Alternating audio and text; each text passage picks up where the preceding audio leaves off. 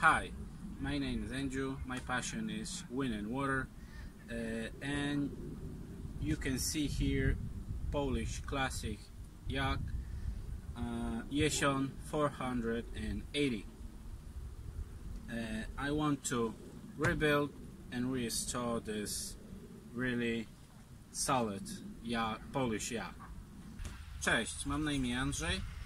Jestem pasjonatem wiatru i wody.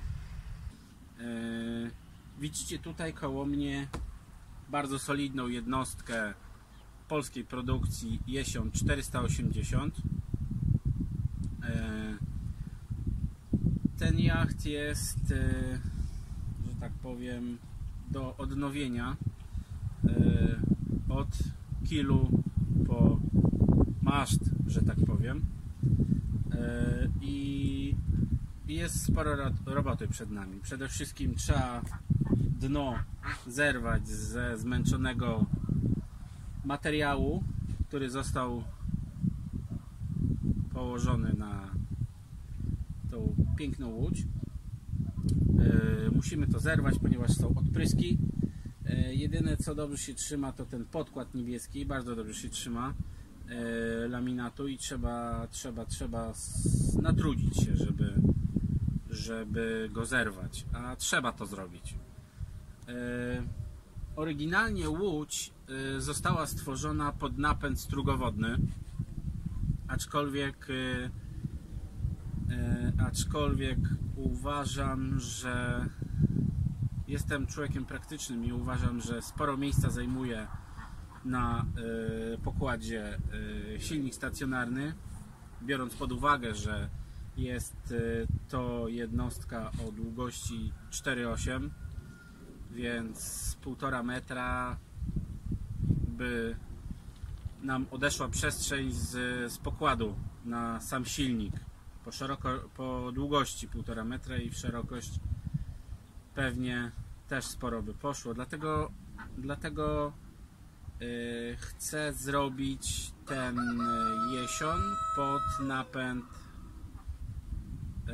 silnika zaburtowego E, Na pewno fajnie to będzie wyglądało, ponieważ widziałem, e, widziałem w internecie fajne pomysły i fa fajne pomysły na, e, na ten jacht i naprawdę fajnie to wyglądało, więc e, a silnik e, silnik zaburtowy zawsze można zmienić. Stacjonarny no można zmienić, ale to zawsze wiąże się z kosztami, moim zdaniem, większymi.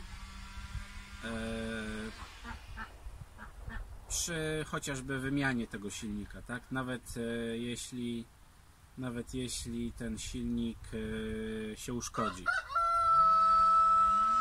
I tak jak mówiłem, musimy wszystko zerwać. Mamy tu dwie małe dziury, że tak powiem, nie ma tragedii. No i oczywiście ten e, tą przestrzeń, która, która robi za, e, za, za napęd strugowodny do załatania. Są e, w tej jakby dziurze, można to nazwać potocznie, są takie e, wręgi e, z miedzi. Na początku myślałem, żeby je usunąć, ale później Oczywiście nie robię wszystko na pochopnie, tylko staram się to jakoś dokładnie przeanalizować i stwierdziłem, że ich nie usunę, ponieważ jest to bardzo dobry element konstrukcyjny wzmacniający, wzmacniający łódź. Dlatego też je zostawię. E, Zostawię je, tylko że zrobię tak, oczywiście zaleję to laminatem, ale przedtem e, zrobię tak, że zrobię w tych pręgach e, dziury, żeby tam mógł e, ten metal dostać się e, poprzecznie, żeby mogła dostać się żywica e, e, e, i, będzie to lepiej e, się trzymało, moim zdaniem. E, Co jeszcze? Co jeszcze? Przy... Przywiozłem ją Przywiozłem ją z Kuźnicy.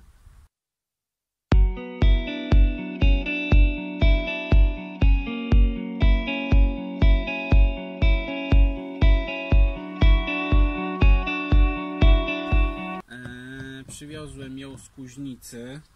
Jest e, to nad wybrzeżem, polskim wybrzeżem. E, I, i, i, i, i co? I tak jak poprzedni właściciel mi mówił, że naprawdę to jest świetna jednostka, ale trzeba w nią wsadzić serce, czas i nie powiem co jeszcze.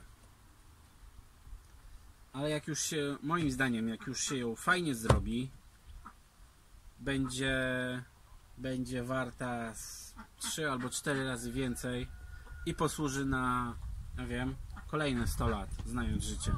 Jeżeli ktoś e, będzie o nią dbał tak jak ja. E,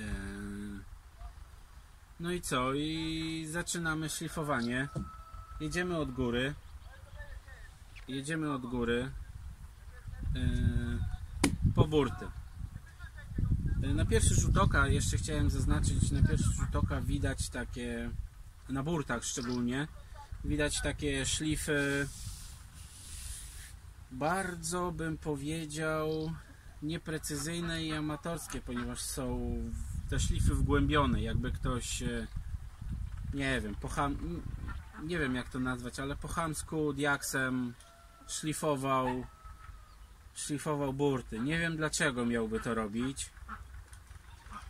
Nie wiem dlaczego, bo to są naprawdę takie punktowe tematy. Widać je nawet z odległości 10 metrów, w szczególności na, w szczególności na białej farbie. I, i, I po prostu postaram się to y, wyszlifować tak, żeby było jak najlepiej. Y, Jak najlepiej. Jak najlepiej, aczkolwiek to nie będzie do końca perfekt ideał, ponieważ e, ponieważ e, trzeba było pewnie jeszcze trzy razy więcej czasu spędzić na, na, na e, precyzji aptekarskiej, żeby to wszystko pięknie wyglądało od, e, jak z fabryki. No i dobra, to na tyle. E,